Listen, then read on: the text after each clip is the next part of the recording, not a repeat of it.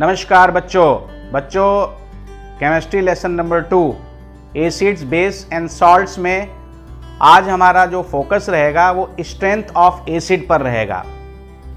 यानी एसिड की स्ट्रेंथ हम कैसे पता करते हैं? कि वो उसके अंदर हाइड्रोजन आयन कंसंट्रेशन ज़्यादा है या कम है?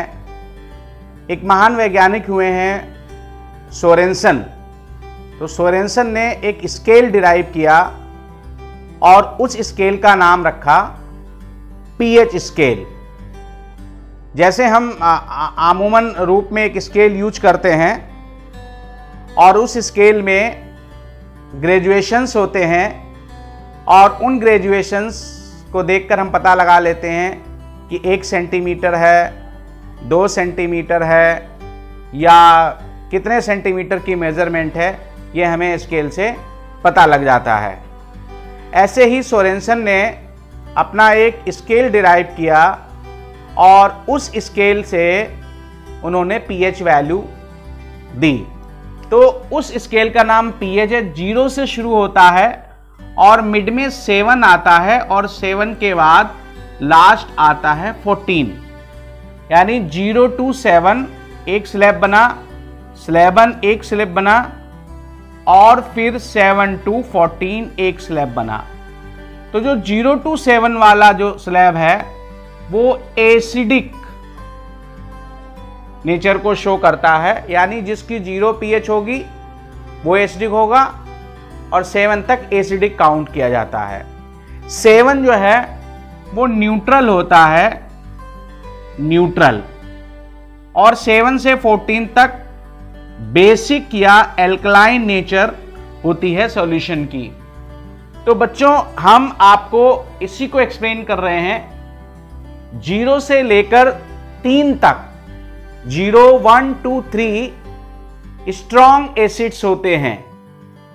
जिसकी पीएच वैल्यू ज़ीरो होगी strongest acid one, two, three, और फोर, फाइव, सिक्स वाले वीक एसिड्स होते हैं। ऐसे ही सेवन वाला न्यूट्रल होता है और सेवन के आगे हम बढ़ते हैं एट, नाइन, टेन। ये वीक बेसिस होते हैं। इलेवन, ट्वेल्व, थर्टीन और फोर्टीन पीएच वाले ये होते हैं स्ट्रॉन्गर यानी स्ट्रॉन्ग बेस बेसिसिटी रखने वाले। अगर हम 14 पीएच की बात करें तो 14 पीएच जो है वो स्ट्रॉन्गेस्ट बेस होता है। अगर हम ज़ीरो पीएच की बात करें तो ज़ीरो पीएच वाला सोल्यूशन जो है, वो स्ट्रॉन्गेस्ट एसिड होता है।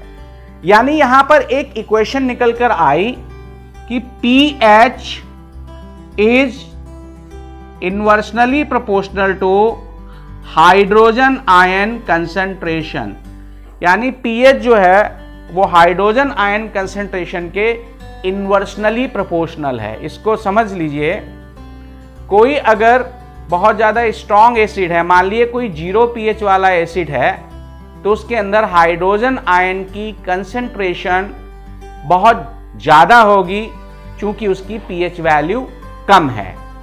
मान लिए पीएच 14 वाला कोई सब्सटेंस है तो उसमें हाइड्रोजन आयन की कंसेंट्रेशन बहुत कम होगी ओ OH आयन की कंसेंट्रेशन ज़्यादा होगी।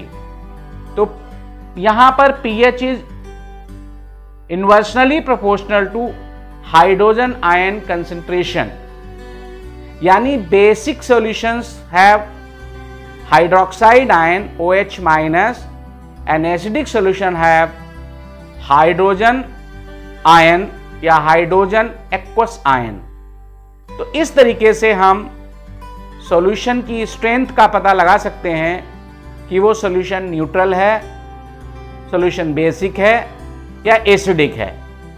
बच्चों, इसके अलावा कलर भी मिलते हैं। पीएच स्ट्रिप बनाई गई। उस पीएच स्ट्रिप में इंडिकेटर्स लगाए गए यूनिवर्सल और जैसे ही उस पीएच को किसी सॉल्यूशन में डाला जाता है रखा जाता है, कुछ ड्रॉप सॉल्यूशन की तो वो कलर चेंज करती हैं।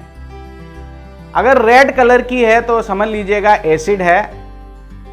ग्रीन अगर कलर उसका चेंज हो जाता है तो वो न्यूट्रल है और ब्लू और ब्लूइश की तरफ़ जाती हैं तो वो बेसिक सॉल्यूशन है।